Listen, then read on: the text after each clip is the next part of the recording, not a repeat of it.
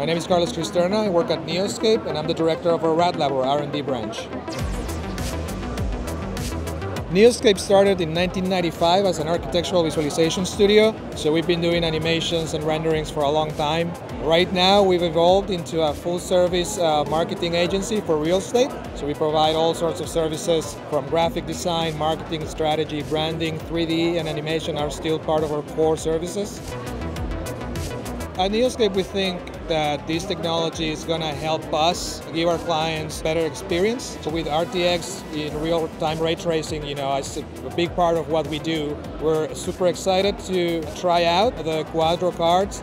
As you know, photorealism is highly intensive computational endeavor. It requires time to render. With RTX, we are really looking forward to expediting that process, right? Because our clients, their margins are getting thinner, everyone's margins are getting thinner, so efficiency is the key. That's what we're trying to achieve here. Like with, with this technology, we believe that we'll be able to interact and collaborate with our clients in real time and see the actual results with the Quadro and RTX cards.